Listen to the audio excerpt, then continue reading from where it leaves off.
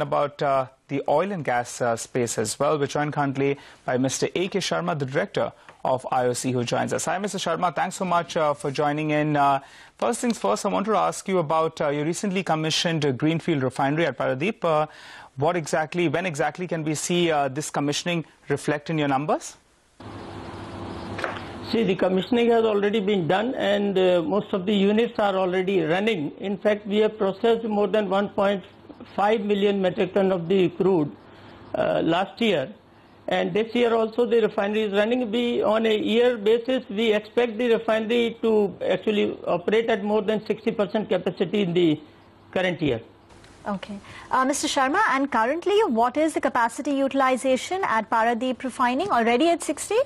Or is it ramping up slowly? Uh, no, it is wrapping up slowly. Basically, uh, by the year end, it will be more than 60, but the 60 figure I am telling on an average basis for the sure. whole year. All right, and uh, this uh, particular facility, if it functions at around 60%, uh, Mr. Sharma, what can it do to your financials? There are reports that suggest that maybe your net profit could be boosted by more than 20% uh, or thereabouts. Uh, what's your take on that?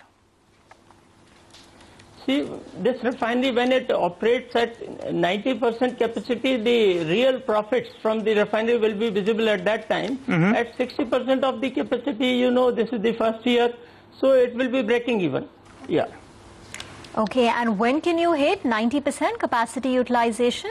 Will it be in FY18? Uh, yeah, definitely. Next year. Yeah, definitely. Okay. By so the year end itself, it will uh, uh, come to that level. Yeah. Okay, um, so that's good to know. Uh, very recently, India and Russia yeah. have also signed a major sales purchase agreement of acquiring a 23.9% stake in Vankor, which is a consortium of various yeah. uh, players, including IOC. What would be, um, you know, yeah. your particular stake in it? What was the reason for it? How will it contribute financially, and how will you fund it?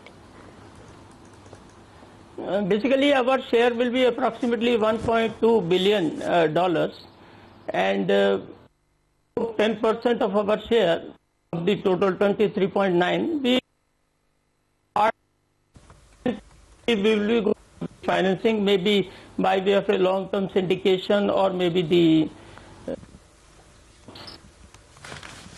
All right, I think we've got Mr. Sharma on a bit of a scratchy line, so let's uh, try to reconnect uh, with him then uh, as we speak. But uh, a quick check then.